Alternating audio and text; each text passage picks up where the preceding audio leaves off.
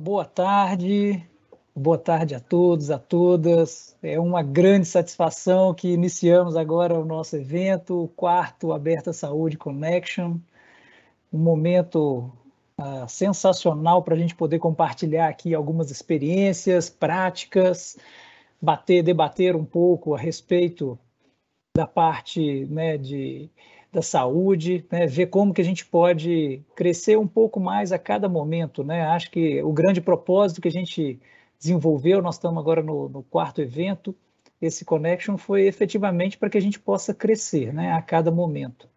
E esse crescer a cada momento ele vai a partir de diálogos, de debates, de discussões e de bate-papos, né? Aqui é o momento descontraído a gente viu aqui uma música legal aqui para a gente ter paciência, com calma. A gente vai aqui também nesse, nesse ritmo, nesse ritmo animado. É, gostaríamos muito de contar, agradeço a presença de cada um de vocês aqui nesse momento e queríamos muito contar com a participação de cada um, né, de cada uma nesse momento aqui, para que a gente possa efetivamente fazer um debate virtual. Né? E com isso a gente coloca esse QR Code, né? podem direcionar aí a câmera para poder chegar e registrar a presença e colocar também ao lado direito, a gente tem aqui a parte de perguntas, a qualquer momento as perguntas que a gente vai é, trazendo a participação de cada um aqui para o nosso evento. Né?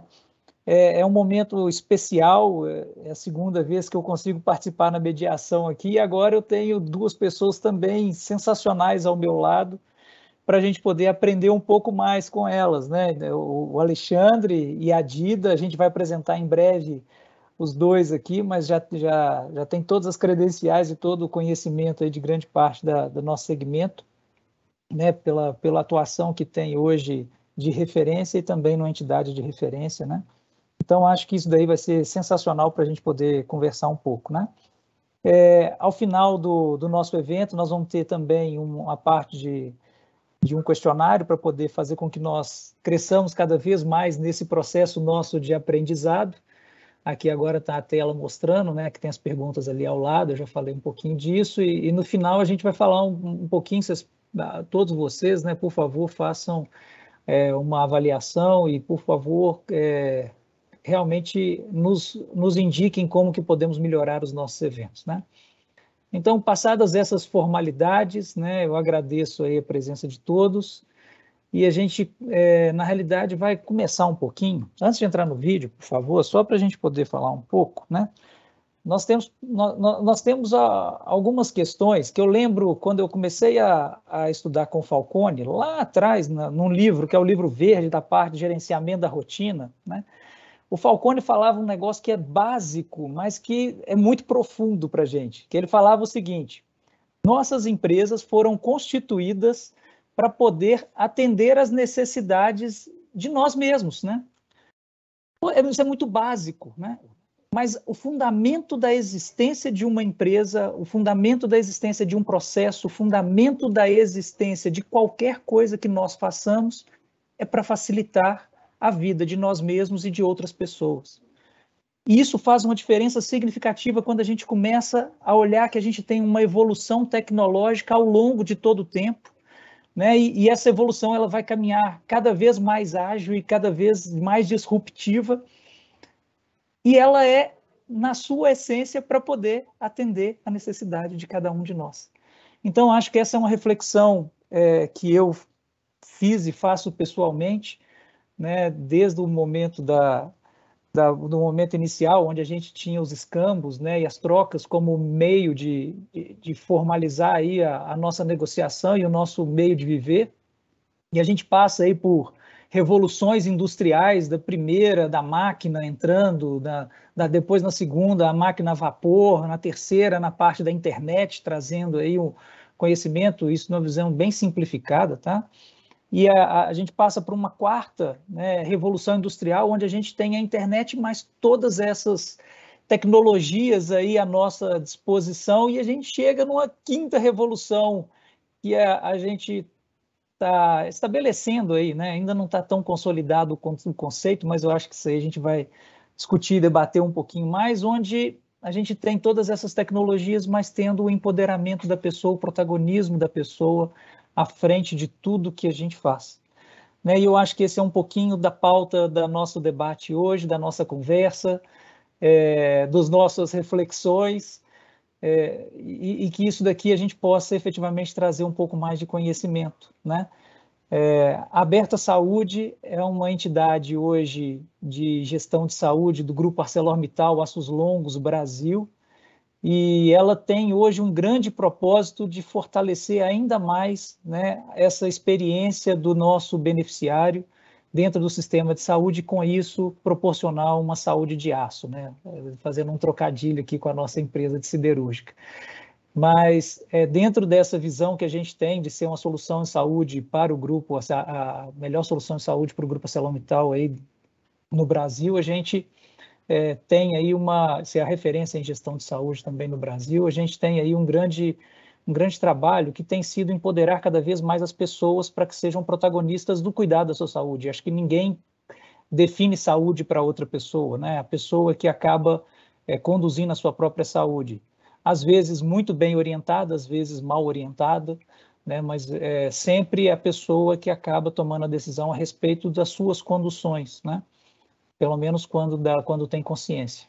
E a gente tem trabalhado hoje, como a população da ArcelorMittal é, e da Aberta Saúde é basicamente é, empregados ativos, né? a gente não tem plano para grandes para aposentados e são seus dependentes, então a gente tem trabalhado muito nesse, nessa visão de empoderamento e de protagonismo.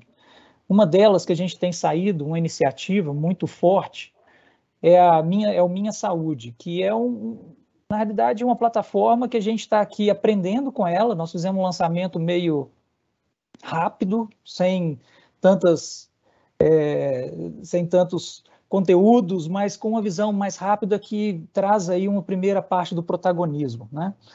É, a gente vai mostrar um pouquinho um vídeo só para poder exemplificar um pouquinho do que, que é o Minha Saúde, e eu acho que isso daqui vai ajudar um pouquinho no debate um pouco para frente, de, de como que isso, esse tipo de iniciativa, com outras iniciativas que estão sendo apresentadas serão apresentadas do Hospital Albert Einstein e do que tem na questão do mercado, a gente pode chegar e construir um empoderamento maior das pessoas, uma saúde cada vez mais compartilhada é, e o protagonismo efetivamente de cada indivíduo e de, de seus é, pares no, no cuidado para que a gente tenha até uma saúde mais sustentável e melhor. Por favor, Fábio, se puder colocar para a gente aí o vídeo. Está sem som, Fábio. Se quiser sair e voltar novamente.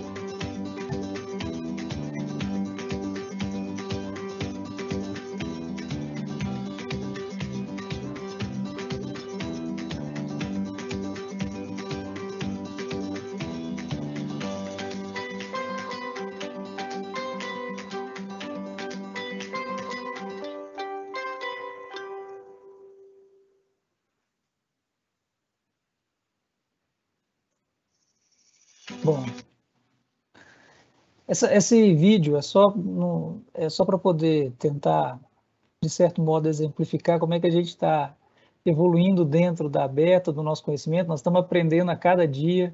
Esse é, é um lançamento recente nosso de que tem com vistas aí o empoderamento do próprio beneficiário, do próprio empregado da ArcelorMittal no cuidado com a própria saúde.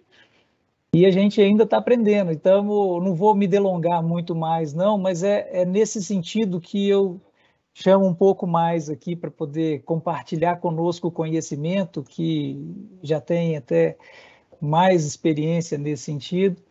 Né? Primeiro, a Dida Capobianco Fava, né? especialista de produto e inovação em saúde no Hospital Albert Einstein, que é fonoaudióloga de formação, e que desenvolveu sua carreira toda no âmbito da pesquisa científica, sendo PhD em inovação tecnológica para a saúde e reprodutibilidade de pesquisa pela Duke University, é, em parceria com a Unifesp, nos Estados Unidos Brasil. E possui mais de 18 anos de experiência em projetos de inovação tecnológica e pesquisa para a saúde. E o Alexandre é, Augusto Mosquim, que é o gerente hoje de inovação do Hospital Albert Einstein, é administrador de formação, líder de inovação aberta em grandes empresas, professor do MBA da FGV e um grande entusiasta do movimento Open Innovation BR Brasil.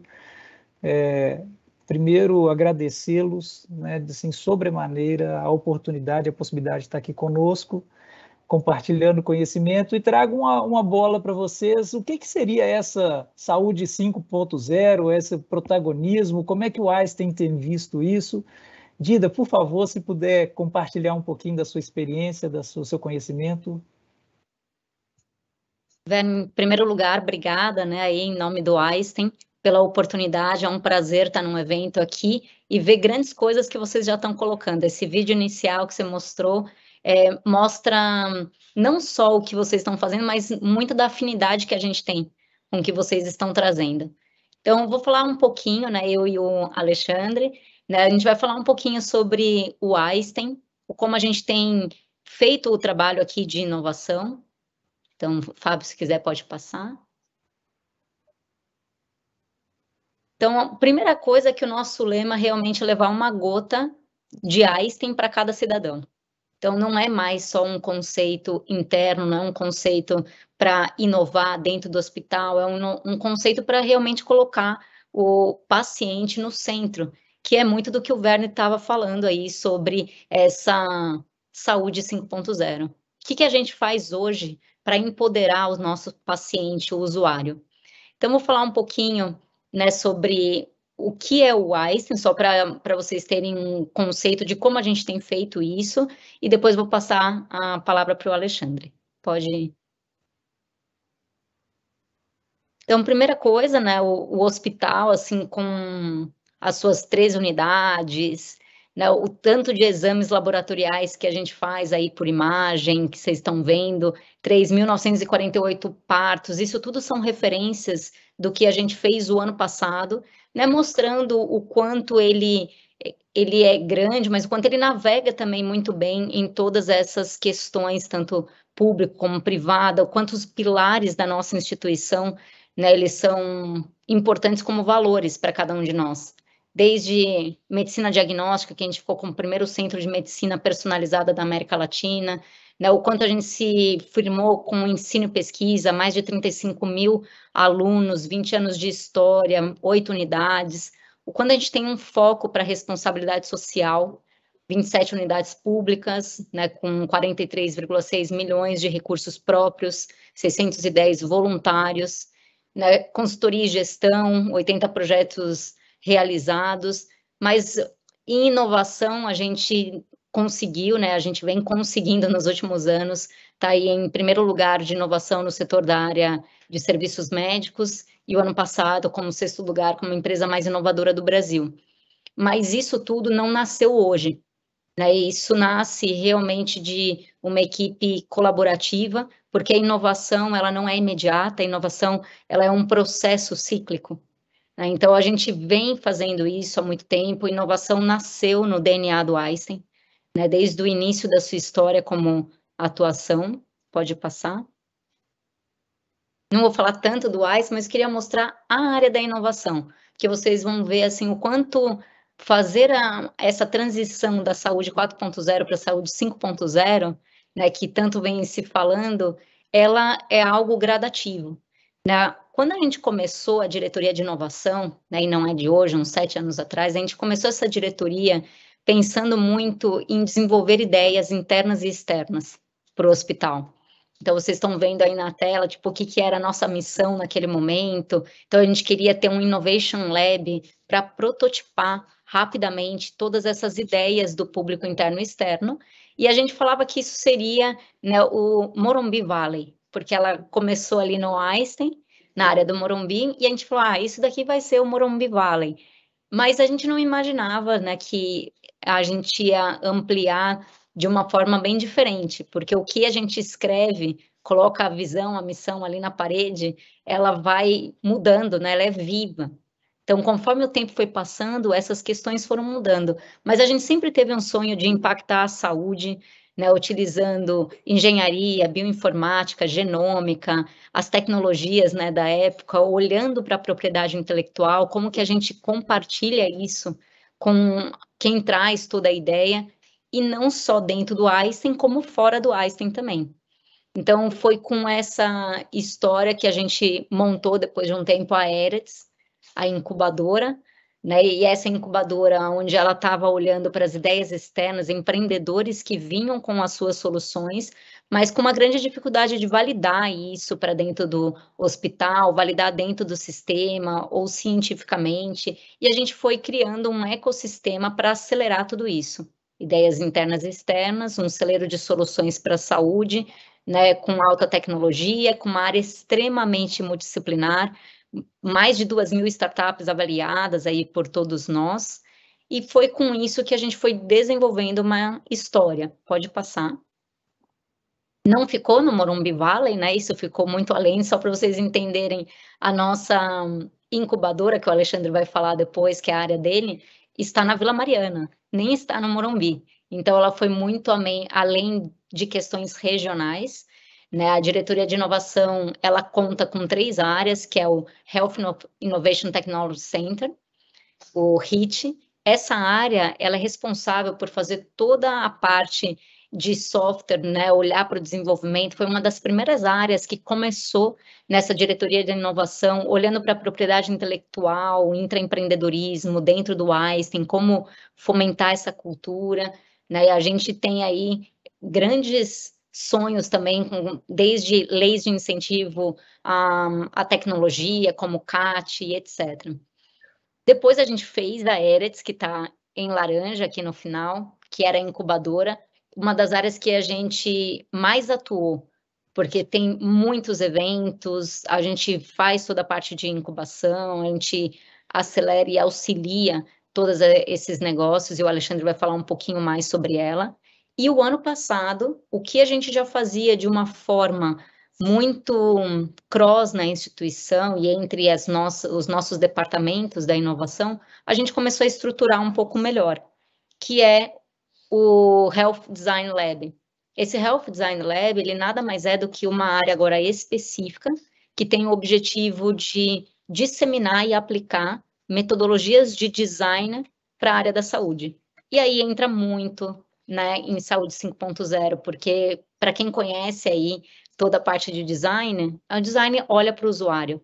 Então, no caso, aqui a gente está falando sobre design dentro da área da saúde, e não design como a tela bonita, que às vezes muitas pessoas confundem, mas processos de design para a inovação. Então, uma das grandes vertentes que a gente usa é o biodesign, que nasceu lá em Stanford, né, e a, nosso diretor é formado também nisso, a gente tem toda uma maneira de aplicar biodesign dentro da área da saúde e olhar para qual é a necessidade que, que é necessária, né? Assim, o que, que a gente precisa em termos de necessidade para manter um negócio.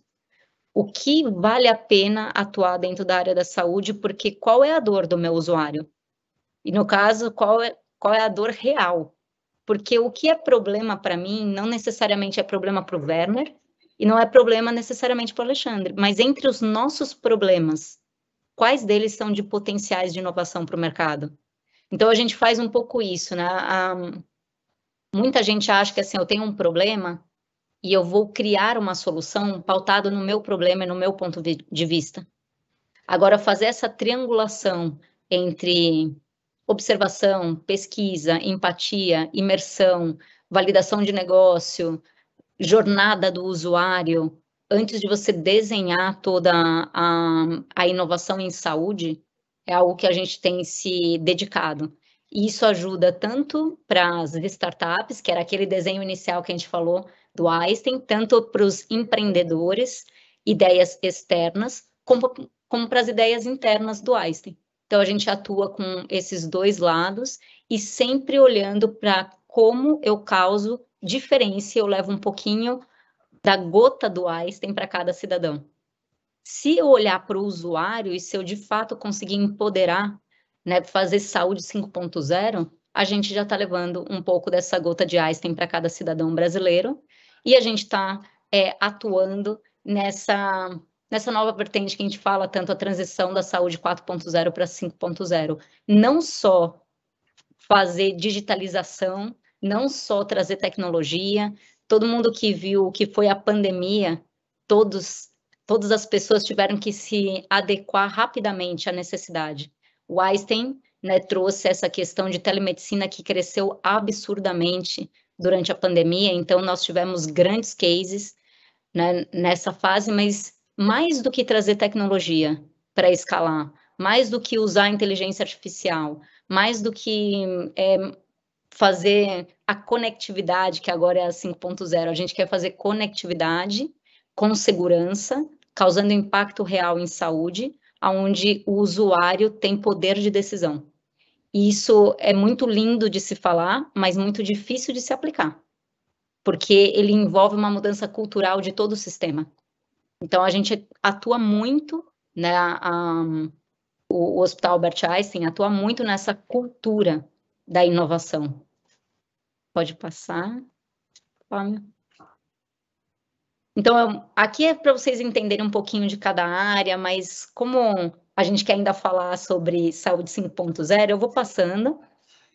Né? Eu já falei bastante ali, pode passar um pouquinho do que a gente faz. E eu vou passar a palavra agora para o Alexandre, para explicar um pouquinho melhor sobre o desafio que ele tem enfrentado na Eretz, e depois a gente volta para o assunto. Perfeito, obrigado, Dida. Aliás, obrigado a todos, assim, é um prazer enorme estar aqui falando com vocês e, e queria até aproveitar, né, e, e reforçar uh, algo que eu, eu já disse para vocês antes da gente começar esse evento aqui. É, eu fiquei impressionado em conhecer o, o trabalho que vocês fazem é, aí internamente na ArcelorMittal. É, é realmente eu não sei o quanto vocês conseguem enxergar que o trabalho que vocês fazem já é referência para o mercado, sabe? Às vezes a gente acaba não, não enxergando as coisas assim dessa forma. Então é, é, é legal, eu queria até reconhecer isso em vocês. É, e estar tá aqui podendo falar um pouco sobre é, é, é saúde 5.0, sobre essa questão da, da, tecnologia como um meio de empoderamento mesmo né, do, do ser humano ali, da, do, do, do, usuário, né, tendo o usuário no centro, é, é realmente uma oportunidade incrível. Né? É, eu vou falar um pouquinho aqui é, especificamente sobre a IRETBio, que é a incubadora de startups, porque para vocês entenderem como a gente consegue operar e trazer né, inovação e tecnologia é, é, é para o dia a dia da população mesmo, que é um ponto principal né, que a gente está falando aqui da saúde 5.0, mas a gente vai falar mais é, de uma forma mais contextual, enfim, e, acho que uma das partes mais importantes vai ser a interação entre a gente mesmo, né? Então, por favor, façam perguntas, enfim, a gente está aqui completamente à disposição, a gente quer realmente é, muita interação mesmo, né? Mas falando especificamente da incubação, talvez a, a Alex Bio, né, dentro da, da, de toda a estrutura de inovação, é, do Hospital Israelita Albert Einstein, ela é a estrutura mais conhecida é, pelo mercado como um todo, né? Mas como a Dida muito bem explicou, a gente né, tem o HIT, que é o Health Innovation Tech Center, é, e também o Health Design Lab, que ela uh, explicou muito bem agora aqui. Então, são essas três estruturas que compõem a estrutura de inovação é, do Hospital Albert Einstein. E aí, falando especificamente da Eretz Bio, a Eretz Bio é muito conhecida por ser uma incubadora de startups. Né? é, mas a gente trabalha principalmente nessas, nessas duas uh, frentes de uma forma muito forte. Então, a gente faz essa incubação mesmo das startups para a gente poder amadurecer os produtos, serviços, enfim, é, é, é o negócio como um todo, para a gente conseguir ter uma maturidade de produtos e serviços que possa chegar até é, o paciente. E a gente trabalha de uma forma muito forte também, num segundo eixo, que é a questão da, da aceleração da inovação corporativa. Ou seja, é, não adianta a gente é, é, é, trazer um nível de maturidade muito grande né, de produtos e serviços, de inovação, se o mercado não estiver pronto para absorver esses produtos, porque aí é algo que, que, que literalmente não encaixa. Então a gente trabalha muito com operadoras de saúde, indústrias farmacêuticas, distribuidores de medicamentos, redes de farmácias e drogarias, outras redes de hospitais, enfim, a, indústria da saúde, né, como um todo, é, preparando, né, essas, essas organizações para que elas consigam é, é, é, se preparar, né, seja internamente, burocraticamente, né, todas as partes de suprimentos, gestão de riscos e compliance, enfim, é, é, todos os fluxos internos para conseguir contratar esses produtos e serviços, ou até em termos de transformação cultural mesmo, né? A gente sempre fala que a transformação cultural vem antes da transformação digital, enfim, né? Conseguir realmente é, trazer esse processo de evangelização e conscientização da organização para que ela queira de verdade se conectar com esses produtos e serviços. Então, a gente trabalha muito no lado da corporação, preparando a corporação para gerar essa conexão e gerando produtos e serviços com maturidade para conseguir fazer essa conexão de uma forma muito forte. Então, a gente faz isso, como vocês estão vendo aqui, através da, da incubação, especificamente. A gente tem uma área específica, que é a área de parcerias. Então, é, é, é, então você faz Open Innovation, né, inovação aberta com o próprio Einstein. Você não necessariamente precisa ser uma startup incubada para fazer parceria. Né? Você pode é, testar e validar produtos e serviços, você pode, se já tiver um produto com nível de maturidade que seja um produto de prateleira, é, simplesmente fazer uma, uma validação se, se, faz sentido para o sistema do Einstein e esse, isso já vai ser absorvido pelo Einstein passar a ser, fazer parte do sistema uh, do Einstein de uma forma é, padrão. Hoje a gente tem 13 é, tecnologias já é, que, que, fazem parte do dia a dia do Einstein, 13 novas tecnologias e soluções implementadas. Parece um número pequeno, mas ele é absurdamente grande quando você fala de, de, de uma inovação que chega direto ali para o paciente já, né? Que, que ela é sentida pela população. Tem um programa de inovação em biotecnologia, é um, é um eixo que está se fortalecendo cada vez mais. Você imagina é, desenvolver molécula, né? Você conseguir trabalhar com biotecnologia de uma forma muito forte, não é fácil, não é simples, são anos de pesquisa e daí por diante. E o perfil do pesquisador nem sempre é um perfil empreendedor, então a gente aproveita da, do fato de que são anos e anos de desenvolvimento de pesquisa para a gente trabalhar anos e anos também com esses pesquisadores para trazer esse perfil empreendedor para a gente conseguir ter grandes empresas no futuro. A parte de Corporate Venture Capital, ou seja, a gente investe diretamente nas startups através do próprio Einstein é, ou através do fundo Vox, que é um fundo parceiro do Einstein, então a gente tem essas duas formas de, de investimento.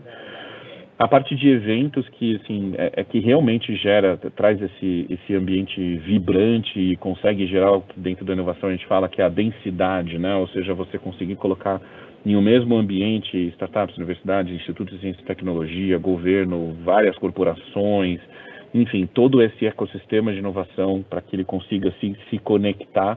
É, é, então, a gente tem, por exemplo, Einstein Frontiers, que é um, um evento que acontece anualmente, que é o maior evento é, é, de inovação, transformação digital em saúde, enfim e Open Innovation com parceiros, ou seja, essa parte corporativa que eu falei para vocês, onde a gente apoia as corporações a, a, evoluir nessa parte de inovação, de inovação aberta, para conseguir gerar inovação. Hoje a gente tem em torno de 47 startups incubadas, ou seja, 47 é, empresas que geram uma ou mais soluções, né, que vão atingindo maturidade aí para conseguir se conectar com o mercado de uma forma é, muito forte. É, enfim, então é, essa é uma explicação ali do, do que a gente faz aqui é, nessa parte específica aí de, de, incubação e aceleração da, do, do, da inovação corporativa. como a, a Dida falou, a gente fica aqui na, na Vila Mariana e a gente está completamente aberto se vocês quiserem um dia marcar mesmo, fazer uma Innovation Journey, né? fazer uma visita aqui, enfim, sugiro que a gente realmente fale, é, faça isso.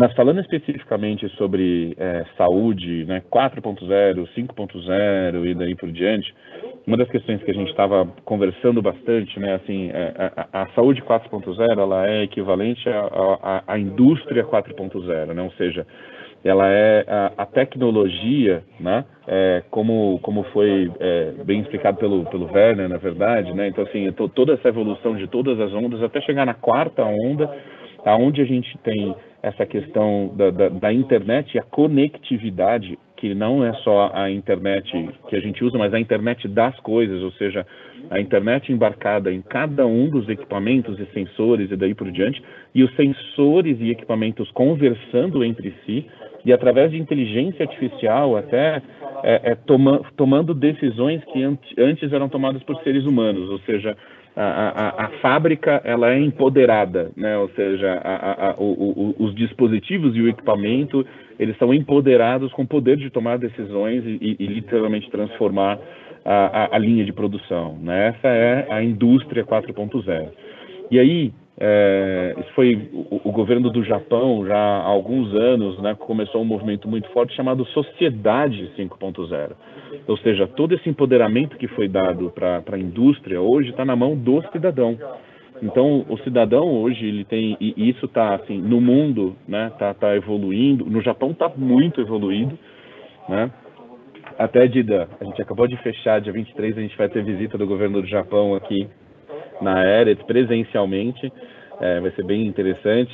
Mas é, é, o governo, o, o Japão já está muito avançado na sociedade 5.0 e o mundo está aprendendo como é que a gente consegue pegar todas essas informações e entregar na mão das pessoas, do, do usuário, do paciente, do ser humano, seja como for, e ele consegue se empoderar e ele mesmo tomar suas próprias decisões, entender, entender qual caminho seguir, né? É, ele ser protagonista da sua própria saúde, da sua própria é, é, é a sociedade 5.0 ela é em todos os eixos, né? Mas a gente está falando aqui da saúde 5.0, que é onde é, é, o usuário, o paciente, né, o ser humano, ele está ali empoderado de todas as informações e ele é capaz de tomar as decisões para ter mais qualidade de vida, para melhorar né, é, é, o seu acompanhamento, ter dados históricos ali onde ele consegue. Inclusive, ele ter todo o prontuário de tudo histórico, não importa de qual é, instituição de saúde veio, de onde ele fez o exame, de repente ele tem tudo isso na mão, toda vez que, ela vai, que ele vai numa consulta, ele consegue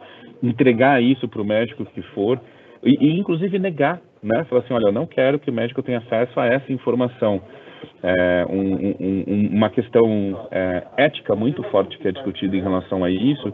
Por exemplo, existe um, um preconceito muito grande quando um paciente tem é, algumas questões psiquiátricas, por exemplo, ele toma remédio tal, ele pode ocultar isso do, paciente, do, do, do, do médico, porque os médicos podem tratar ele de uma forma diferente, achando que qualquer coisa que ele vai falar ali é, é, é um, um, sintoma de qualquer coisa nesse sentido. Então, assim, o, o, paciente pode ter a decisão do que ele quer e do que ele não quer compartilhar com o médico. Tem toda uma questão ética por trás disso, não é simples esse tipo de discussão.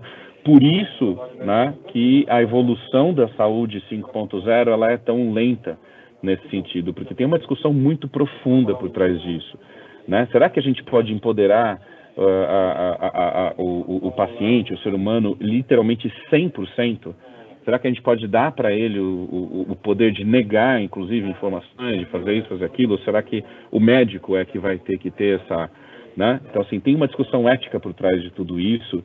E é por isso que aqui no Brasil uh, essa discussão ela tem evoluído muito. O próprio Ministério da Saúde é, já usa prontuário eletrônico, já usa uma série de, né, até o, o, o, um sistema chamado Orus, que é o sistema de medicamento, de, de distribuição, e você sabe se a pessoa está utilizando o medicamento ou não. Então, assim, tem, tem muita coisa avançada nesse sentido. Mas a saúde 5.0, assim, de verdade, pura, é, ela ainda não conseguiu é, chegar no seu maior nível de maturidade, pelo menos aqui no Brasil. Né? Então eu acho que isso é uma das coisas que, que principais que a gente né, vai discutir aqui. Eu quero é, é, realmente ouvir de vocês. Eu não sei se já tem perguntas ou se não tem perguntas, mas eu queria que a Dida falasse um pouquinho também sobre essa questão da saúde 5.0, Dida. Ale, é uma das coisas, né, que você trouxe aí que é como a gente pode empoderar né, o paciente e até que ponto a gente consegue, com todas as questões éticas que tem por trás. A gente vai mostrar daqui a pouquinho um case que a gente fez aqui, mas o empoderamento, ele começa em atitudes pequenas. Se a gente olhar para o nosso paciente, ou se a gente olhar para a instituição, para quais são os interesses de cada instituição que está em volta desse paciente e a gente fizer colaboração, né, de fato, começando no pequenininho, a gente já faz uma grande mudança para a sociedade 5.0. Né? E, e é mais fácil, não significa que vai acontecer, mas não é um assunto que é tão complexo se todo mundo fizer um pouquinho. Eu, eu vejo muito como aquele efeito realmente é, inicia no que você pode e vamos ver o efeito no, no muito. Seja fiel no pouco que você consegue e a gente vai ver o quanto isso vai impactar né, uma sociedade. Mas para impactar uma sociedade, você começa dentro da sua casa. Não estamos falando só de paciente, né? Você fala até que ponto eu consigo influenciar os meus, até que ponto eu consigo influenciar meu pequeno grupo, meu, minha, meus meus colaboradores, as pessoas que trabalham comigo, para depois eu começar a pensar em sociedade 5.0. Né? E a saúde ela é um pilar disso. Então, acho interessante, aí não sei se o Werner quer colocar alguma, algum comentário. Não, assim, muito interessante, Alexandre, Dida, é, porque essas provocações vão ao encontro até de algumas perguntas que estão aqui já fazendo parte aqui do nosso bate-papo que essa reflexão efetiva né, que o Alexandre traz para a gente, de que a gente tem ainda é, uma, uma discussão a se fazer numa questão ética, numa questão de como é que a gente compartilha e trabalha as informações, isso muito ligado até à maturidade que as empresas têm em relação a como que elas lidam com as informações, né? Porque se eu tenho uma maturidade talvez mais elevada, eu consigo tratar em mais alto nível e com mais confidencialidade, mais segurança a esses dados. A pergunta que vem aqui, vem uma pergunta primeiro, é, vou colocar aqui do, do Marcos Felipe, lá do Assolab, né, e, e que emenda com uma pergunta que tem aqui depois da Nicole. Primeiro, gostaria de parabenizar o time da Aberta né, pelo evento é, e agradecer a participação dos convidados, em especial Alexandre aceitou sem hesitar. Minha pergunta vai direcionada para ele inicialmente é, pensando no contexto de inovações relacionadas a Health Analytics e no uso de dados de saúde dos usuários e a LGPD, como que vocês lidam com esses projetos de inovação aberta para que as provas de conceito e o desenvolvimento dos MVPs aconteçam? Então, vai um pouquinho ao encontro do que você estava falando, né? Não, com certeza. E essa é uma pergunta incrível. Na verdade, Dida, a gente tem que falar um pouquinho dos cases aqui também, hein? Não vamos, não vamos perder esse fio da meada que acho que é super importante. Mas essa é, é, literalmente uma pergunta incrível. A gente tem pouquíssimo tempo, né? Então, assim, eu, eu poderia fazer uma apresentação muito extensa em relação à Eretz Bio e todos os apoios que a gente dá para todas as startups e tal. Mas um dos pontos que a gente sempre apoia as startups que estão aqui é, são nessas questões regulatórias, não só LGPD, dados, tal, mas assim todas as questões, né, Visa, ANS e tal, né, todas a, a, as regulamentações que são necessárias para todos os produtos. Hoje a gente tem uma nova legislação que é o Software as a Medical Device. A gente tem um curso específico para isso, inclusive, que está sendo divulgado agora. Né, eu vou até pedir, Felipe, me passa o link para passar para o pessoal aqui desse curso, e aí eu, eu passo aqui para vocês é, porque esse curso vai ser aberto ao público, inclusive, então essa é uma informação que não é só restrita aos nossos incubados, é para o mercado todo, mas essa questão específica de dados, ela é uma questão extremamente delicada, né, porque é, a gente, é, por conta do LGPD, a gente não pode trabalhar né, com, com, com os dados é, literalmente tagueados, né, nomeados, a gente não pode trabalhar com os dados identificados por pessoas e por diante. Então, a gente tem a nossa é, equipe de tecnologia que, que trabalha é, criando uma massa de dados com, com é, é desidentificada, né? trabalha desidentificando os dados para que a gente possa fazer todas as validações, as prototipações e daí por diante para validar aquela tecnologia sem necessariamente estar tá identificando, é, nomeando ali os dados que, estão ali presentes. Ou seja, a gente consegue validar a tecnologia, a gente consegue é, provar que aquela tecnologia funciona, respeitando toda essa questão de, de, de LGPD. Né? Isso, inclusive, é um, uma questão que eu vejo é, alguns é, empreendedores e startups com medo né, da Lei Geral de Proteção de Dados e daí por diante, mas a partir do momento que eles começam a entender o que, que precisam fazer, todas as camadas de segurança que precisam ter, todas as, as formas de trabalhar com dado, isso acaba entrando no modus operandi normal mesmo, assim, né? É só você criar um sistema que, que literalmente desidentifica os dados que a gente pode, a gente pode realmente trabalhar é, de forma clara com, com todas essas questões. Isso, só pegando um gancho nessa fala, Alexandre, isso é muito interessante porque a, a Lei Geral de Proteção de Dados ela é positiva. Às vezes a gente fica olhando né, para a Lei Geral de Proteção de Dados como algo negativo, mas nós fazemos parte desse sistema, né? Então é importantíssimo que a gente tenha aí realmente propósitos para poder tratar essas informações, e isso é muito legal você ter falado que quanto mais consciente a gente está, mais a gente sabe como lidar com isso, né? Né, Dido, eu vou só fazer aqui uma pergunta, puxando um gancho aqui para você. Tem uma pergunta que vai ao encontro também disso, que é nós estamos no setor de saúde com essa dificuldade, às vezes, de lidar com algumas informações. E a Nicole faz uma pergunta o seguinte: a gente consegue acompanhar a tecnologia dos outros segmentos, dos outros setores? A gente consegue se desenvolver da mesma, na mesma ordem, na mesma, no mesmo ritmo que os demais, em função dessas dificuldades de lidar com vida humana? De não ter como ficar testando demais um robô sem que a gente tenha uma conectividade tão, não colocar numa cirurgia, dizendo que a gente tem uma conectividade que às vezes não está 100%. Como é que a gente olha essa questão da inovação? É, você pode falar um pouquinho para a gente? Sim, muito, muito interessante, muito boa pergunta e não dá para a gente comparar muito bananas e maçãs, né? Obviamente, tem as peculiaridades de cada de cada ecossistema, de cada área, e inovar na área da saúde é extremamente desafiador, mas cheio de oportunidades. É uma das áreas que mais tem crescido né, em investimentos, a, toda a parte de inserção de tecnologias deu um boom nos últimos anos para a área da saúde.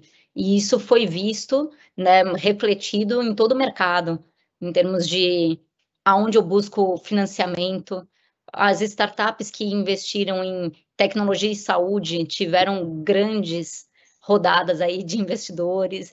Então, é, é muita oportunidade acontecendo para a saúde, mas ela é muito diferenciada também. Não tem como, se você for fazer aquele conceito lá dos anos 90, que você iniciava o design thinking olhando para a necessidade, mas muito é, pautado em tentativa e erro, aquele, o que a gente aplicava nos anos 90, a gente não consegue aplicar hoje em dia. Se você não triangular isso, você não embasar, né, medicina baseada em, em evidência, saúde baseada em evidência, qual a evidência que realmente mostra a segurança do meu paciente, como que eu trago a academia para próxima da minha inovação, mas ao mesmo tempo com a agilidade do empreendedor que está vendo o time do mercado, são desafios particulares num segmento extremamente regulamentado. Então, vou te falar que a velocidade não é a mesma, não. Né? Ela vai ser maiores em alguns aspectos, como atualmente investimento, alguns aspectos de investimento, mas ela vai ser menores em alguns outros desafios. E essa é a graça, né, de, de inovar nesse setor também. Muito legal. Eu vou não sei se você quer falar um pouquinho, apresentar um pouco dos cases. Eu acho que vai ser interessante, porque depois a gente ainda debate um pouquinho mais em cima dos cases. Acho que vai ser muito, muito legal, tá? É, eu acho que a gente pode colocar esse primeiro case, né, Werner, só para vocês terem uma ideia, isso daqui é algo que nasceu de um curso de inovação. Isso aqui não nasceu assim, ah, uma pessoa estava olhando para construir uma startup. Ou... Não, E é para a gente ver como cultura de inovação, como falar sobre esse assunto, né, que é aquilo que a, a gente falou, começa no seu pequeno. O pequeno faz uma diferença, porque se a gente faz, fala bastante uma frase aqui que se a dor é real, a inovação ela vai ser natural.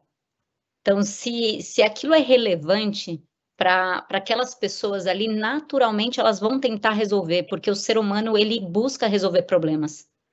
Então, a gente vai assistir um pouquinho aqui e depois eu comento como que a gente aplicou metodologia de design, né, para isso ganhar vida.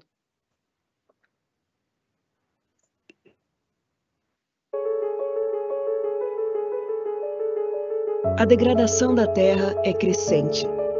Em todo o Brasil, diariamente são descartadas milhares de toneladas de resíduos sólidos hospitalares. Entre estes, há cerca de 67 toneladas de resíduos têxteis, além de todo o resíduo gerado pelo comércio, indústria e pela população. As consequências de tanta poluição de solo, rios, mares e ar são devastadoras para a humanidade. Nosso planeta depende de nós. Cada pequena ação conta. O Hospital Albert Einstein se preocupa com o planeta que deixaremos para as próximas gerações. O Up Luxo contempla essa preocupação. O projeto nasceu em parceria com a Gerência de Hotelaria no programa Einstein de Inovação em Saúde, com a participação de colaboradores Einstein, atendendo ao desafio de zerar o descarte de tecidos. O programa foi promovido pelo Health Design Lab, aplicando as metodologias de inovação para a construção da ideia.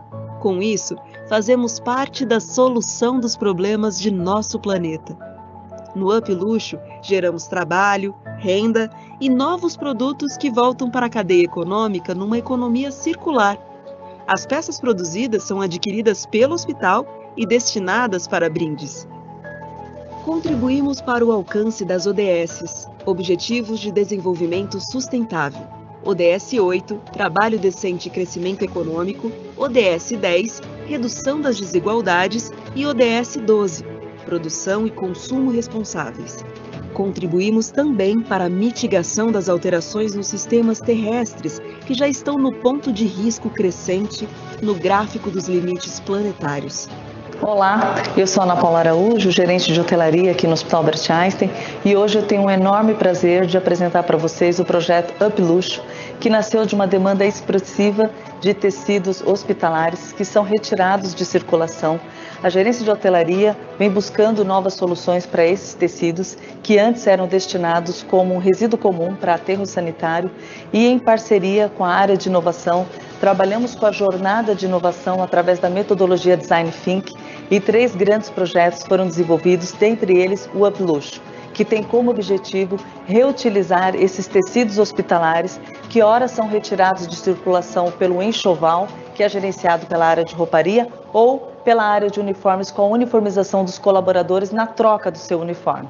E esses tecidos passam então a ser reutilizados e transformados num produto que pode ser uma necessaire, uma bag, uma mala, uma bolsa, uma case para notebook, e com isso nós retiramos todo o resíduo que era destinado para aterro e trabalhamos hoje com aterro zero nesses resíduos têxteis.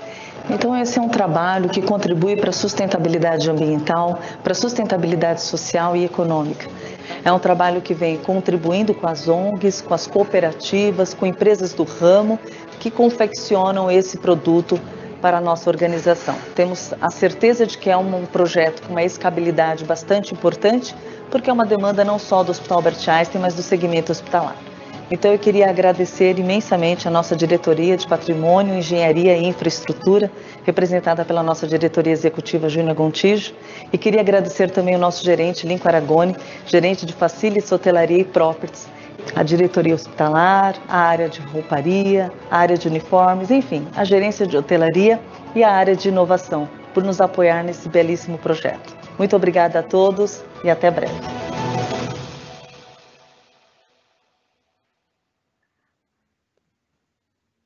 E, esse, esse vídeo, ele mostra, assim, um, eu quis trazer esse case, porque a gente fala, ah, inovar no Hospital Albert Einstein, então vamos falar sobre diabetes, vamos falar sobre tal coisa, mas dá para você inovar de, de forma criativa, com diferentes pilares.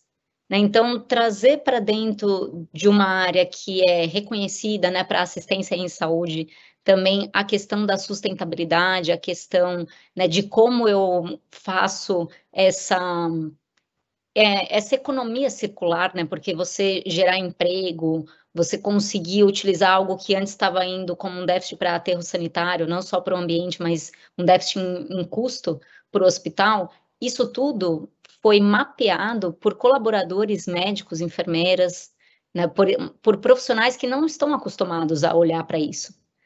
Então, a mesma coisa acontece de forma oposta. Se nós, né, se o paciente empoderado, conseguir olhar para a sua saúde, ele ajuda o sistema da saúde a inovar. Então, aqui médicos ajudaram a pensar na sustentabilidade, né? médicos, enfermeiras e profissionais da área da saúde, mas o paciente, olhando para a sua própria saúde, pode trazer de uma forma proativa o que é a sociedade 5.0, evoluir a, a não só a saúde 5.0, mas trazer algo contextualizado. Então. Dido, assim, maravilhoso isso daqui, eu achei sensacional, porque às vezes a gente realmente fica na visão de inovação só para a visão do. É, não é que é do core, né, mas do, do core do negócio que a gente tem, e às vezes é, são pequenas ações, como você tem dito, são pequenas atitudes, é, que começam, que fazem com que as empresas comecem a ter a cultura da inovação. E, e isso, é, eu queria uma pergunta que vai aqui para vocês, né? É, até Alexandre, talvez você nos ajudar aqui pela experiência grande que você tem também junto com a Dida. Como é que a gente começa, né? Porque a gente fica falando aqui, a gente fala, pô, o Einstein é top, né? Então, assim, a referência que a gente tem na parte de inovação, mas eu sou uma empresa que estou começando aqui, apesar de né, a gente estar tá, tá tendo aí um processo de, de, de, evolução, por onde que a gente começa? Como é que a gente começa isso? Né? O que, que, que dica que você traz aí para gente? Eu vou, na verdade, deixar a Dida falar sobre isso, porque assim, a resposta de tudo isso está no design.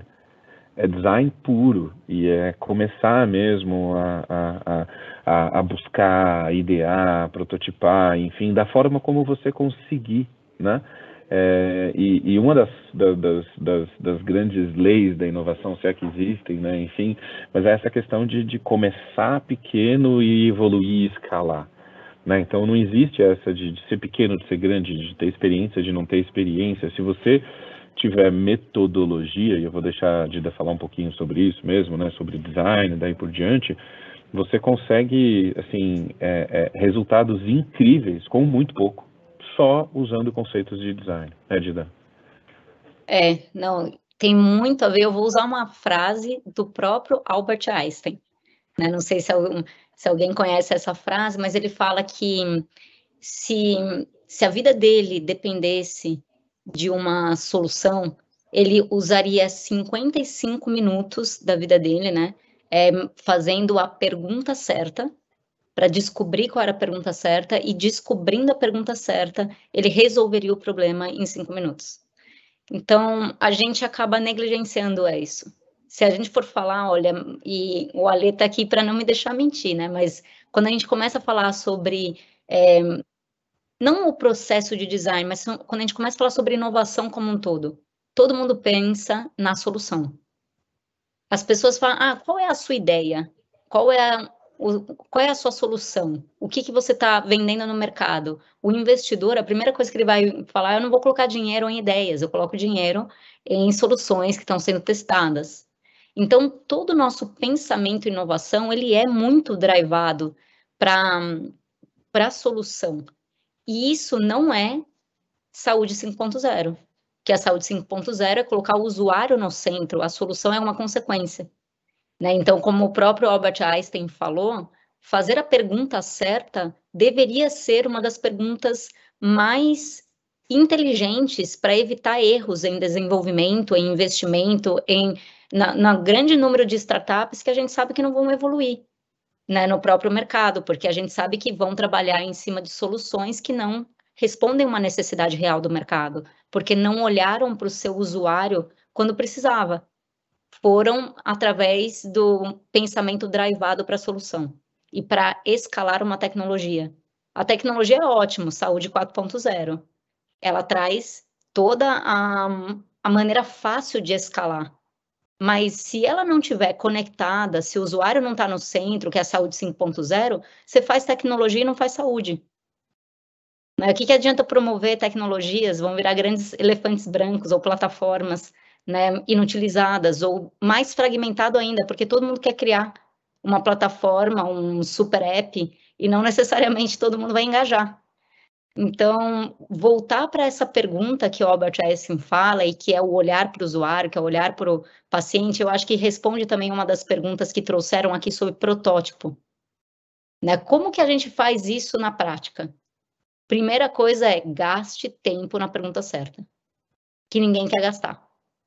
Você vai apresentar um projeto dentro de uma empresa, ou você vai apresentar um projeto de consultoria, a primeira coisa que a pessoa está pensando é quando sai a solução. Ninguém está olhando para o protótipo, todo mundo está perguntando o desenvolvimento. Né? É um conceito muito voltado para o resultado final. E o resultado final não tolera erro. Sendo que a pergunta certa, se você estiver no processo de primeiro eu quero olhar para a pessoa, primeiro eu quero entender se a sua solução está pautada em pessoas, ou se ela está pautada em tendências tecnológicas do mercado. Porque entrou a tendência tecnológica do mercado, um investidor talvez que não está olhando para a pessoa, fala, legal, vou colocar dinheiro aqui. E aí você vê investimento sem retorno. Tudo porque a gente dificultou o início, né? Pode falar, Werner. Não, eu ia pegar um gancho nessa sua fala. A gente fez uma reflexão recente aqui na própria Aberta Saúde, e só contando um pouquinho da nossa experiência, no, quando a gente foi para desenvolver o app, há uns, uns, quatro anos atrás, a primeira coisa que, que a gente chegou foi assim, gente, vamos desenvolver app, não, vamos, a primeira coisa que nós vamos fazer é mapear a jornada. Então, vamos chegar aqui e fizemos uma visão de mapeamento da jornada do, do beneficiário. E aí, no ano passado, a gente, acabou evoluindo, veio a pandemia, só conseguimos mexer no ano passado. E aí, no ano passado, a gente fez um, um desenho para poder chegar e aprender um pouquinho sobre as necessidades, as demandas do nosso usuário para poder ver como é que a gente poderia contribuir. E veio uma questão, que é a que eu faço aqui agora, que é o seguinte, o quanto que o nosso usuário está preparado para poder conseguir entender e descrever para a gente qual é a necessidade dele e como é que a gente consegue identificar de fato algo que talvez até o próprio usuário, principalmente na área de saúde, tenha dificuldade de saber que isso vai ser é, e, é, e é bem é, usável e, e, e adequado para ele? Muito boa pergunta também, Werner, porque se a gente fosse usar esse conceito, que o usuário sabe o que ele precisa, o Ford não teria criado carros, teriam criado cavalos rápidos. Né? Então, a, o usuário nem sempre vai saber o que precisa. Por isso que a, o processo de inovação ele é muito colaborativo, porque você tem que juntar o que o usuário está reportando como problema, que foi aquilo que eu falei, o problema do Werner, o problema do Alexandre, o meu problema, precisa convergir para uma validação de necessidade. Porque às vezes o Werner tem um problema pessoal, e esse problema é exclusivamente dele. Mas se o problema do Werner está é, se somando com o problema do Alexandre, com o meu e convergindo para uma viabilidade do mercado, aí a gente vai conseguir trazer ações de impacto. Então, faz muito sentido o que você está falando. Perguntar para o usuário não é, o usuário não é o decisor de tudo, porque o usuário nem sempre vai saber, ele está sofrendo a dor, mas nem, não necessariamente ele sabe a solução. Só ele não é o você... único decisor, né? Eu acho que essa é a Exato. questão, né? Tipo, ele não é, decisor, ele não é o único decisor, é um conjunto de, de, de, de personas, né? Um conjunto de participantes que conseguem gerar uma solução. Por isso que a gente fala, isso é o processo de design, né? É, a gente fazer todo o mapeamento de quais são as pessoas e quem vai participar e quem deve, quem deve participar do processo antes de iniciar o processo, e aí sim a gente inicia o processo. Desculpa te cortar, Dida, mas foi só se. Não, tem, tem tudo a ver, Ale, e assim, é colaboração a palavra. As verdadeiras inovações nascem em necessidades reais de uma forma muito colaborativa. Né? Então, isso tem um impacto para o mercado. E, e daí, na hora que você pergunta para o usuário, Werner, que você estava falando, se a gente juntar o que o usuário precisa, né, com a opinião dos especialistas, baseada em saúde, né, que tem ciência como base, não é só opinião de especialista. Quando você começa a trazer essa colaboração entre todas as pontas, aí a gente começa a trazer algo mais maduro e consistente. Inovações que vão permear muitas áreas, e aí começa a nascer a saúde 5.0, conectividade com o usuário no centro. O usuário tem que saber o que é o dado, o que ele precisa, e ele tem que ser empoderado o suficiente para agregar em criatividade e colaboração. A gente está com um, um, projeto né, que já acontece também no Hospital Albert Einstein, um outro case interessante que eu vou trazer aqui. Mas eu não estou com o vídeo dele por uma questão de tempo, mas o Hospital Albert Einstein ele tem toda uma área de segurança do paciente. Porque falar sobre o, tudo que acontece de bom dentro de um hospital, você vai fazer vários vídeos e cases e você vai sair por aí falando. Mas quais são os hospitais que levantam a bandeira de é, redução de erro diagnóstico? Como eu reduzo o erro diagnóstico? Porque ninguém quer falar de erro. Ninguém quer falar de o que sai na é, da segurança, questão de lei de proteção de dados, você vai sofrendo com tudo, compliance, isso, aquilo, tudo que eu não posso fazer. Mas quem é que expõe as suas dificuldades para crescer com elas? Então, o hospital tem uma área voltada para isso, que é junto com os pacientes. Não é uma área que acontece sozinho. Pega cases de dentro do hospital que aconteceram, que tiveram impacto na vida do paciente traz a família daquele paciente, né, juntando especialistas e pacientes e fala: a gente vai atuar para reduzir esses erros diagnósticos por participação do familiar. Porque apesar do erro, né, ele tem uma pessoa que faz um diagnóstico final, que é o médico. Mas a, o processo para chegar nesse diagnóstico final envolve toda uma equipe, multidisciplinar, envolve todo processos administrativos e envolve a participação do paciente sabendo contar a sua história. Paciente que não sabe contar a sua história tem mais dificuldade de receber um tratamento correto. Então, essa parte de empoderar o paciente para ele entender o que é importante para ele mesmo é, não, não é trivial, mas é necessária. Né? Não é só a educação do paciente, é a continuidade, né, com ele no centro. Isso é outro, outro ponto muito legal que você traz. A gente fez uma discussão recente, né? A gente estava discutindo é, auditoria concorrente, só para poder pegar um pouquinho do gancho, né?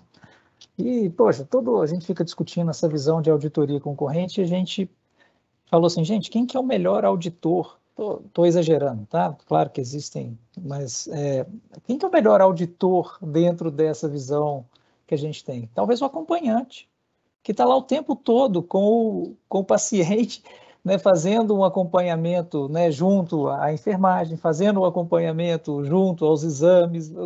Então, assim, é, Será que empoderar, quando numa visão hospitalar, o próprio acompanhante para entender um pouco mais de quais são os cuidados e quais são, né, quais são a trajetória que ele deve percorrer ali dentro, junto com cada um dos profissionais, num processo de que, e, e acho que você traz muito bem, né? Nunca uma pessoa sozinha vai ser, é, vamos colocar, suficiente para o todo, né? É, a gente precisa das visões do médico, da enfermeira, do fonoaudiólogo, do nutricionista, e cada um da, da, das, nas suas especialidades dentro. Mas o quanto que o acompanhante pode fazer o papel efetivamente de acompanhante, não simplesmente de quem está ali fazendo companhia, né? É, e, e aí, pegando um pouquinho, saindo um pouco dessa visão e entrando um pouco na visão das nossas organizações. Tem uma pergunta aqui da Cláudia, que ela fala o seguinte: poxa, nós temos aí metodologias de gestão que já são meio consolidadas há mais tempo. Essas metodologias, elas é, podem atrapalhar, ajudar? Como é que elas interferem no processo de inovação, já que a gente tem aí algumas questões características disso, já da qualidade total e tudo mais? É, né, essa, essa pergunta ela é incrível porque quando você citou, inclusive, Falcone no começo, enfim, eu me lembrei de um, de um ponto aqui que foi muito bom ter essa pergunta ter puxado esse ponto para eu, eu poder citar. Eu admiro muito o trabalho né, que a Falcone faz, enfim, e eu não sei se você conhece a estrutura de inovação da Falcone. Né? Eles têm um fator F, né, é, que é a estrutura de inovação e transformação da Falcone.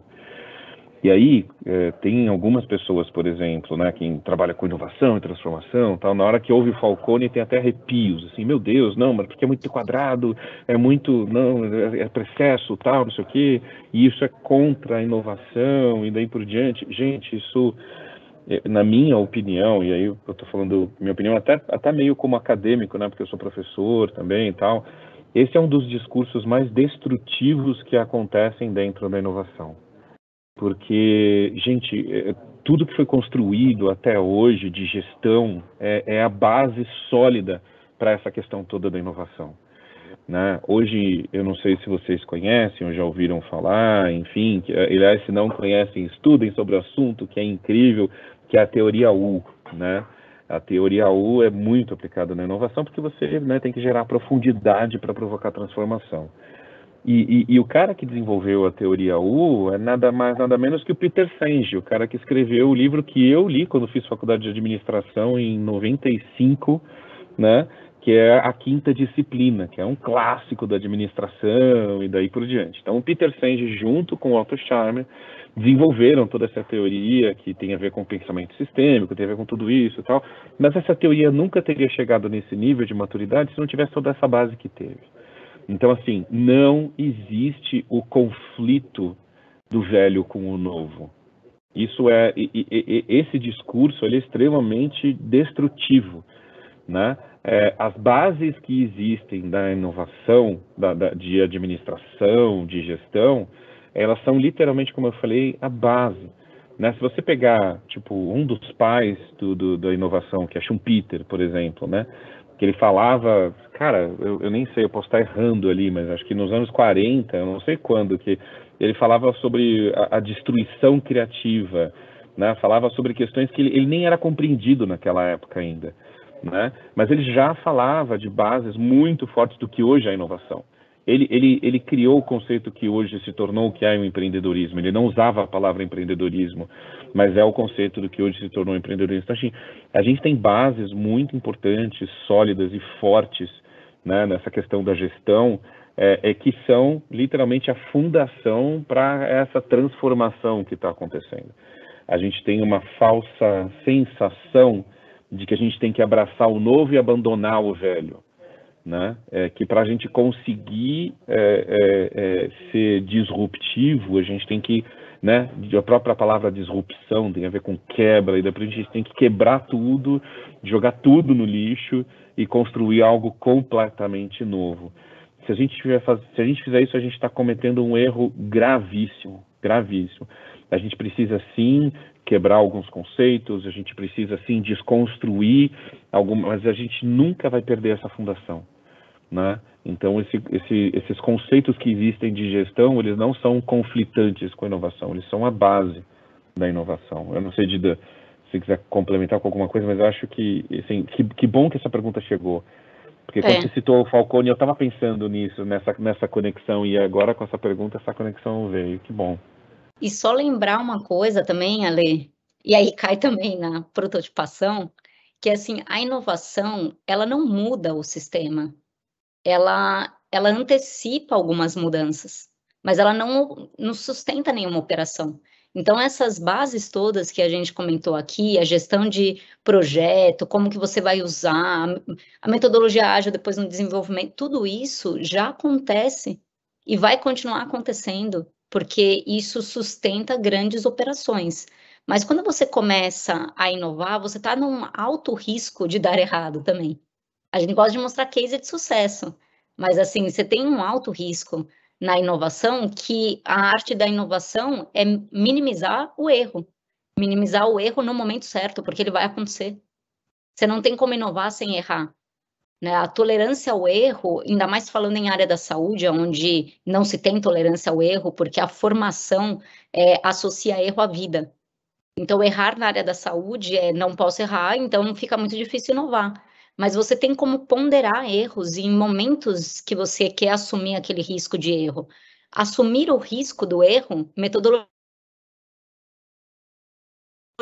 de inovação. Design de inovação, você está validando a necessidade, você está nessa parte inicial. Depois, escalar uma inovação que foi provada por um protótipo validada com usuários e com uma estratégia de implementação clara, aí você vai para outras metodologias depois. Né? Elas se associam. Eu vou fazer um link com isso que você está falando, que a gente acabou de trazer do novo com o velho, né, do físico com o digital, né, e a gente vê é, que a gente está com um processo de transformação contínua. Né?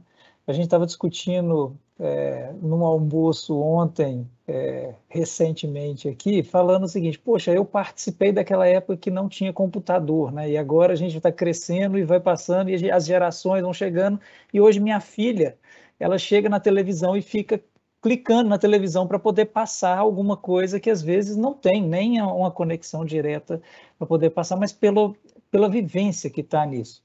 E a gente hoje ainda tem uma formação, né, vamos colocar dos profissionais de saúde, uma formação ainda de pessoas que viveram esse momento ali atrás, né, e que efetivamente é, sentem-se às vezes é, como se fosse é, disputando com a tecnologia. Eu coloquei até na, na, lá na, na, minha chamada da, da, da live, né, aqui que a gente ia fazer, o digital versus o físico e o digital vezes o físico, né? O físico vezes o digital. O que, que, você pode falar um pouquinho a respeito disso, de como é que a gente pode, a partir disso, ver como é que a gente pode trabalhar e de uma forma ainda melhor, é, o que, que a cultura pode efetivamente influenciar, ou a gestão da transformação cultural também pode influenciar e, e ajudar nesse processo? Ale, você quer falar? Quer que eu comece? Pode começar, tranquilo. Ó, vou dar um exemplo prático, que a gente teve que fazer, assim, uma mudança, né, de presencial para totalmente digital e depois ficamos no digital. É, fazemos vários workshops e jornadas de inovação presenciais antes da pandemia. Era o que a gente acreditava, todo mundo com seus post-its né? Ia lá, juntava todo mundo para colaborar, a área assistencial extremamente presencial, né? Como cultura. Então a gente fazia projetos de inovação presencial. Primeiro workshop que a gente ia fazer, né? Um, programa Einstein de inovação com os colaboradores. Pandemia chegou, ninguém sabia o que, que era, porque a gente acreditava que era uma quarentena realmente. Falamos, perguntamos para o usuário: você prefere não fazer esperar passar a quarentena? Ou você prefere fazer de forma digital? Não, eu prefiro fazer de forma digital. Perguntamos ao usuário. Fizemos de forma digital. Primeira jornada de inovação: médicos e enfermeiras contaminados por Covid numa época que ninguém sabia o que era isso e com pessoas perdendo familiares, pessoas morrendo. Eles, eles engajaram num nível de colaboração que surpreendeu qualquer moderador que estava na ação. E a gente perguntava, mas nossa, você deu plantão o dia inteiro, então você ficou lá no hospital e você ainda vai fazer isso? Ele falou assim, não, eu quero fazer porque eu quero, eu quero descobrir como ajudar. E pessoas criaram caixas de descontaminação de N95, juntando tomada da Alexia com é, caixa da Leroy Merlin uma lâmpada UV e criaram as suas próprias caixas de né, descontaminação numa época que não tinha. Depois as startups começaram a vender isso, você começou a ver isso dentro do supermercado, né, como você passa o seu carrinho, no, mas não era a realidade. Isso tudo feito em 20 horas de curso. Então é muito interessante você ver o, po o poder da colaboração, o poder de uma dor real para todos a dor, ela une também. A gente só vê dor como coisa negativa, mas a dor é oportunidade. A diferença é como você quer olhar, né, para as dificuldades da vida, para os problemas, né? E, e, nisso, né, só juntando a transferência do que era presencial, ela virou totalmente digital, adaptação rápida. E depois ela virou né, um sistema híbrido que a gente tem hoje. Em um sistema híbrido que realmente temos colaboradores teletrabalho em vários estados, fora do país, e às vezes a gente faz jornada, como a gente fez ontem, né, Ale, com jornada para o mercado, com indústria, com colaboradores fora de São Paulo e com pessoas dentro, né? Então, evoluir na adaptabilidade é algo necessário e o, o, o digital veio para ficar. Né? Depois que a gente descobre a, a vantagem de um mundo e a vantagem do outro, é igual imigrante. Você vai um país, vai para o outro, você pega melhor de ambos. Explica de novo direito esse negócio de digital aí que eu não entendi direito. O que, que é esse negócio aí? Vida. Misturar os dois mundos, né? Assim, o que era físico e o que depois foi digital, você conseguir fazer o digital, né? Esse sistema híbrido tem trazido muito valor, né? É claro, foi, foi uma provocação, porque às vezes a gente usa né, uns termos, os brubbles, rubbles, assim, né, e fica... Não, mas é importante mesmo essa questão do, do, do, físico com o digital, né, eu acho que o híbrido, ele veio para ficar mesmo, né, e, e existe, é, é óbvio que existem os nativos digitais e as pessoas que ainda estão se adaptando né, às novas tecnologias e daí por diante. E até parece que eu sou o designer do grupo aqui, né? Na verdade, a designer é a Dida, mas eu vou falar de novo que a base de tudo é user experience, a gente pensar na experiência de quem está passando por aquela situação, passando por aquele processo e qual é o melhor formato possível para aquela pessoa receber aquela informação, digerir aquela informação e gerar o resultado que a gente precisa. Então a gente tem que pensar no user experience, na experiência do usuário. E o digital, ele é só um dos meios possíveis para gerar isso. Né? Você pode criar um livreto impresso e distribuir para as pessoas e ao mesmo tempo ter um aplicativo que tem a mesma informação que o livreto e cada um digere a informação da forma que, que, que convém melhor para cada um. Mas não adianta você dar o livreto para os nativos digitais e dar um aplicativo para quem tem dificuldade, porque aí a usabilidade, a experiência do usuário vai ser horrível. Então, é, o que a gente precisa entender é, é, é, é qual é a necessidade de cada um e entregar para cada um da forma como ele precisa. E aí a gente entende se a gente faz através de tecnologia ou não, e mesmo fazendo através de tecnologia, como a gente faz. Né? existe uma, uma economia crescendo cada vez mais, que é a tal da silver economy, né, que é a economia prateada, que é a economia da terceira idade, e, e a gente está cada vez mais criando né, aplicativos e soluções digitais e daí por diante que, que, que são utilizadas por, por, essa, por essa população que não é nativa digital. Né? Acho que um grande exemplo que a gente tem é o próprio WhatsApp. A minha avó usa o WhatsApp, né? E a minha avó tem, quer dizer, a avó da minha esposa, né, 86 anos né? Porque a minha avó mesmo tem 101 anos, tadinha, ela não, ela nem faz ideia, ela não consegue mesmo, ela já está acamada, não consegue nem usar mesmo, tal, enfim.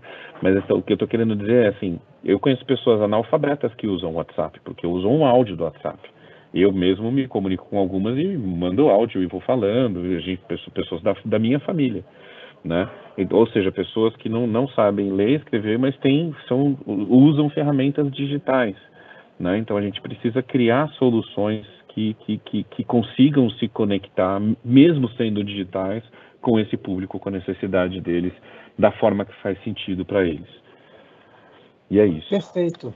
Não, excelente. Assim, acho que esse, esse bate-papo, se a gente tivesse tempo aqui, ia longe, né? Mas assim, de antemão, queria só agradecê-los e queria que, se quiserem fazer uma consideração final, uma fala final, só para a gente e caminhando para o encerramento, já de antemão agradeço sobremaneira, mais uma vez, demais é, a simplicidade, a forma que vocês trataram e conduziram conosco desde o início do convite até o momento do bate-papo, a fala simples, a fala fácil e os aprendizados tão profundos que a gente tem, uhum. as reflexões que a gente tem aqui. Agradeço muito. Foi sensacional esse momento e passo a palavra para uma consideração final, para uma fala final e a gente depois caminhando para o encerramento. Tá? Gida? Muito obrigada, né, também. E eu acho que de consideração final, é, as dores reais vão promover a inovação de forma muito natural, se a gente souber colaborar pensando né, no usuário, e isso vai gerar a saúde 5.0 que a gente tanto almeja. E você, Ale? Eu, eu gostaria de agradecer imensamente por essa oportunidade, porque para a gente, imagina, é, é, literalmente a gente levar uma gota de Einstein para cada cidadão. A gente está é, realmente colocando em prática a nossa missão, né, a missão pela qual a gente existe. Né? Então, é um prazer enorme estar tá podendo né, me conectar a cada um de vocês e compartilhar é, informação. E o que eu queria deixar claro para vocês é que a gente está de verdade, né, reforço o convite, reforço que, que a gente está completamente aberto mesmo, assim, a, se vocês quiserem vir aqui visitar, é, fazer uma outra sessão dessas, enfim, a gente está completamente à disposição, porque isso faz parte, como eu falei, da nossa missão. Então, contem muito com o com, com, com nosso apoio. Como eu falei, a Eretz existe tanto né, para amadurecer os, os, os, os produtos e serviços das startups, quanto para apoiar as corporações nessa conexão. Então, a gente vai estar tá, é, é, cumprindo com a nossa missão, apoiando vocês nesse sentido. Então, agradeço Perfeito. bastante. Muito obrigado, Alexandre, Dida. Agradeço significativamente também a nossa equipe que está aqui nos bastidores, né? Fábio, Rafael, Pedro, aqui Carol, né? Todo, toda a equipe que participou, envolvida nesse momento aqui. Estou é, vendo aqui o Bento, né? Então, assim, pessoal, muito obrigado, Fernanda. É, por favor, deixem suas considerações aqui no link, é, sempre a gente poder evoluir é, cada um dos nossos eventos. E agradecer e, deixe, e falar que esse evento vai estar disponível também no YouTube para todos, né? Então, que podem depois, em algum momento, se não se perdeu alguma coisa, ou se quiserem passar para alguém, vai estar disponível para a gente poder replicar e levar um pouquinho da, da gota do Einstein, da gota da aberta, da gota da saúde aí para cada um de, de nós aí. Muito obrigado, uma boa tarde e que Deus fique com todos vocês. Amém. Obrigada. Fiquem com Obrigado, Deus. Pessoal. Até mais. Fiquem com Deus. Tchau, tchau.